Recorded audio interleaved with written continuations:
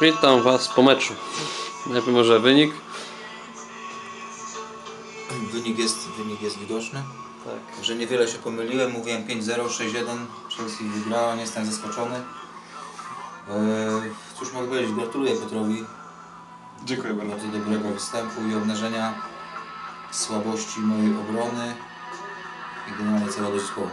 A Ty Piotrze? No cóż, nie mogę być niezadowolony po tym meczu. Nie spodziewałem się takiego wyniku, liczyłem może na jakieś 2-3-0 przy naprawdę dobrym układzie e, wiatrów i tak dalej. Jest dobrze, jest, jest bardzo dobra sytuacja w tabeli w tym momencie, nie będę chyba zdradzał jaka, ale no, kroczymy od wygranej do wygranej i oby tak się utrzymało jak najdłużej. Miejmy nadzieję, że przegrasz.